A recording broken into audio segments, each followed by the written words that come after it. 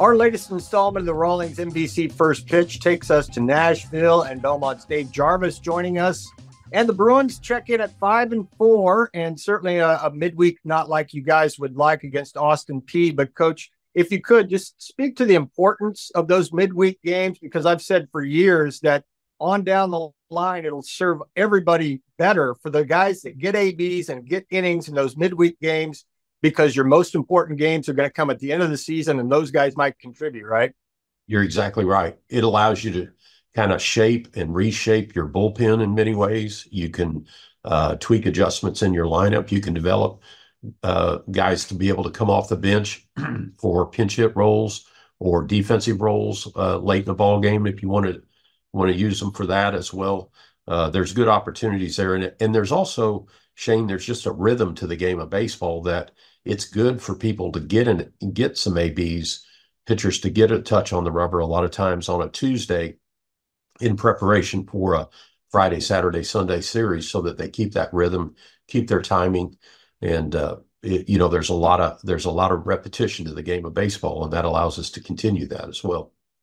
And a guy that it seems to me like has taking advantage of more playing time lately and is heating up, kind of matching Jack Rando, and that's uh, Blake Barton. Those guys have really been good the last couple of weekends, and Barton was getting uh, good again last night.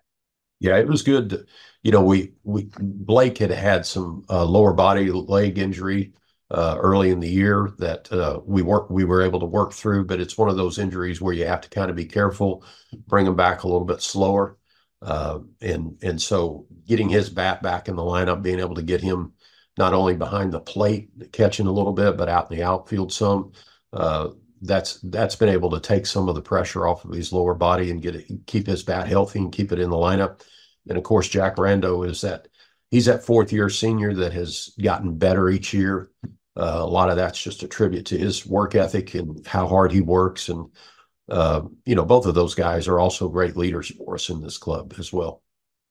And if you're ever going to win uh, one game in a series, you want it to be on a Sunday, and you guys certainly uh, finished up that Evansville series in style. But talk about the uh, the maybe the the randomness a little bit of the first two games. The Friday game is a typical Friday game. You lose a low scoring matchup, and then on Saturday you lose eight to three. But you put it all together on Sunday. What was the key? Do you think for your guys to channel that frustration in the right way on a on a Sunday run rule win? Well, I think the biggest key was just uh, you know, we're an older team with a lot of good, uh, solid upperclassmen, junior, senior leadership, and I think that gives us stability so that there's not a panic that they that they run into a uh, a situation where they just panic and and then that allows Sunday to slip away from you as well. There's a lot of determination and to be honest with you, Shane, the league is very even. We feel like as well too. I'm, the teams that we played, of course, we feel like it's it's every game is kind of in the balance. And then, you know, with my illness and, and time at home, I've watched a lot of Missouri Valley games and teams, and there's so many similarities between all of us, I feel like. And I think, you know, of course, Indiana State's uh, off to a great start and out front, uh, but so many of the teams look very similar. And uh, I think the league's up for grabs this year for several different teams, to be quite honest with you. And it should make for a very exciting tournament as well, I feel like you know, we talked about the importance of midweek games and you get to shape your bullpen and get some guys some innings that don't no- normally get them. But how about the Sunday start? Uh, Joe Ruzicka give you guys. He went all seven, and that that that just wraps up the weekend in grand style when a Sunday guy can do that.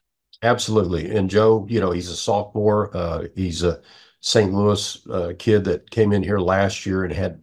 We saw tremendous uh, ability out of him, a lot of high ceiling potential, and uh, if you know we had to sand off some of the rough edges basically for command and pitch development and so forth but those things have started to come into place for him. And uh, you know we're just really excited about the, what the future holds for joe. He's he did a heck of a job for us on sunday and has had you know uh, other starts throughout the course of the spring where we've seen that as well too. A couple of keys for you this weekend as you go to valpo to take on the beacons that if belmont does this and this they're going to come home victorious with a series win. What would that be? Well, I think I think the the biggest thing for us is on the mound, just making sure that we execute our our locations.